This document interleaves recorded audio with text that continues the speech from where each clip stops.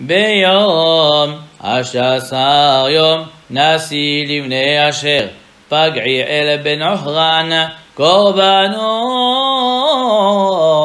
קערת כסף אחת שלושים ומאה משקלה מזרק אחד כסף שבעים שקל בשקל הקודש שניהם מלאים סולת בלולב השמן למנחה כף אחת עשרה זהב מלאה קטורת פר אחד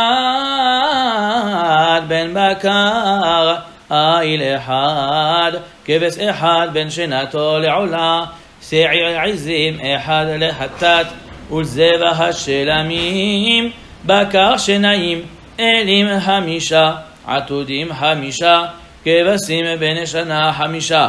זה קורבן פגעי בן אוכרן ביום שנים עשר יום נשיא לבני נפתלי. אחי רע בן ענן קורבנו קערת כסף אחת. שלושים ומאה משקלה מזרק אחד כסף שבעים שקל בשקל הקודש שניהם מלאים סולת בלולב השמן למנחה כף אחת עשרה זהב מלאה קטורת פר אחד בן בקר איל אחד.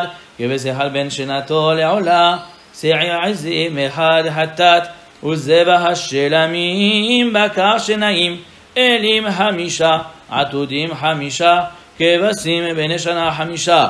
זה קורבן הכי רע בן ענן.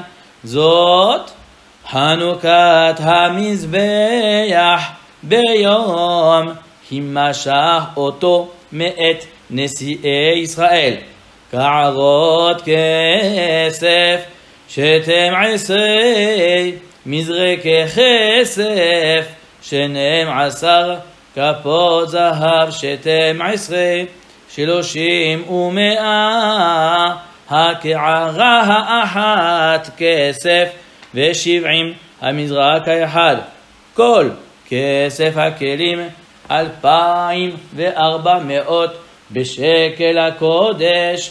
כפות זהב שתם עשרה מלאות קטורת עשרה עשרה הכף בשקל הקודש.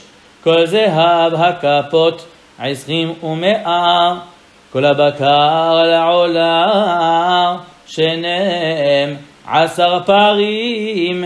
אלים שנים עשר כבשים בני שנה. שנים עשר ומנחתם ושעירי עזים שנים עשר לחטאת וכל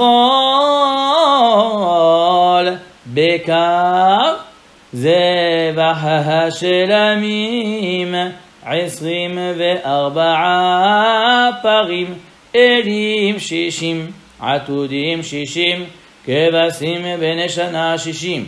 זאת חנוכת המזבח אחרי הימשך אותו ובבוא משה אל אוהל מועד לדבר איתו וישמע את הקול מדבר אליו מעל הכפורת אשר על ארון העדות מבין שני הקירובים.